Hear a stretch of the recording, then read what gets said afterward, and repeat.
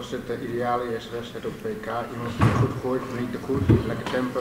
Ja, zeker. Ik denk wel, eh, ik denk dat wel gewoon, ik denk dat hij van heel veel andere spelers vandaag toch wel had gewonnen. Want ik denk dat hij gewoon een hele degelijke wedstrijd gooide. Hij maakte niet zoveel fouten. Je ziet ook wel het verschil tussen de eerste ronde en de tweede ronde van hem. Dat hij eh, gewoon vele malen scherper was. Maar dat heeft ook met tempo te maken. Maar ik denk uiteindelijk dat voor alleen maar... eh, goed is geweest. Ja, ja, ik ben blij dat hij hier en daar zijn dubbeltjes miste. Want ik denk dat die scorend vermogen wel goed was. Ja, de dubbeltje bij jou ook wel lekker. Ja, zeker. Ik, ik maakte weinig fouten. Je begint al natuurlijk de eerste set heel lekker. Ik denk dat er hier en daar nog wel meer in zat. Maar uiteindelijk mag, je- ja, hoef ik niet te klagen. Nu heb je waarschijnlijk eh, een dag of tien vrij. Is dat dan heel innerlijk zo'n eh, onderbreking tussendoor?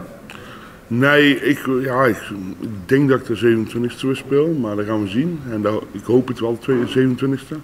Eh, ja, het is net als ieder jaar, kerst kan me gestolen worden. Eh, Het enige belangrijke voor mij is dat ik gewoon eh einde van het toernooi met de, de beker mogen staan. En dat is het enige waar ik naar op zoek ben. Ja, Vincent heeft de afgelopen week wat interviews gedaan. Daar zei hij dan dat jij vaak wel goed aan het toernooi was begonnen. Dus ja, omdat daarna een beetje weggezakt. Dan ga je hoe ga je ervoor zorgen dat dat dan dit toernooi niet gebeurt? Ja, weet je, er zit- zitten nu zoveel dagen tussen. En ik, voel mij ook oprecht heel lekker. En da- daar haal ik mijn energie uit. En daar, vanuit daar wil ik gewoon zorgen dat ik de mensen gewoon de, het vuur aan het schenen leg. En ja, wat er andere mensen daarvan denken, ja, moeten ze zelf weten.